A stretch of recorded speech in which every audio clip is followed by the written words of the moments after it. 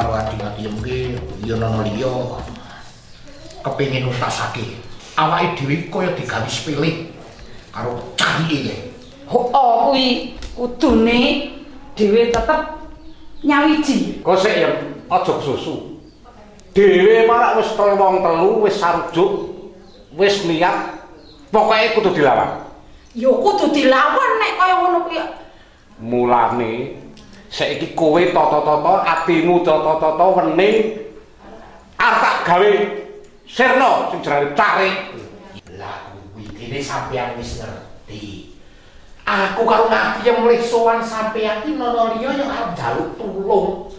Takon mateni candi kuwe. Lah sing kanggo cara sing alus. Dadi ora ketok nek awake dhewe iki nyoto-nyoto mateni.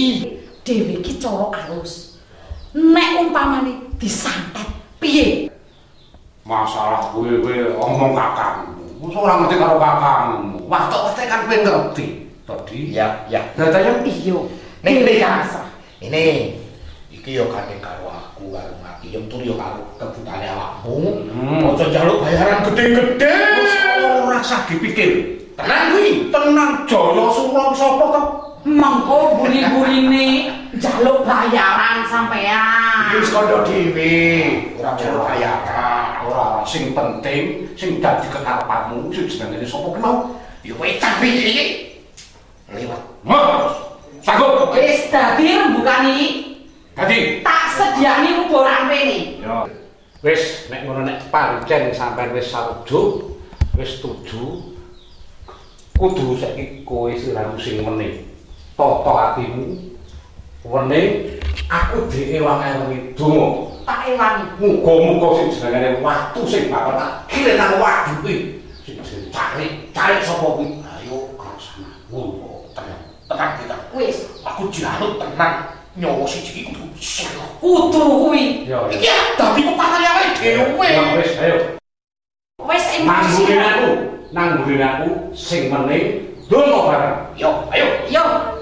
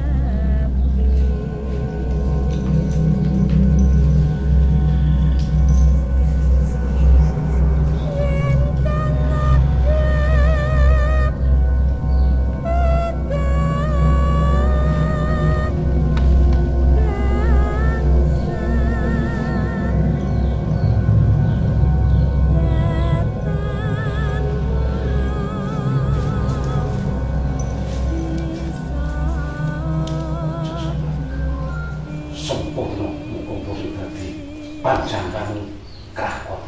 Tenan. Tenan aku bobok rasanya lagi. Roh mau. Paku wak lang. Tepus. Mata tengko. Ikin tadi. Kamu ada apa ya Bisa terus.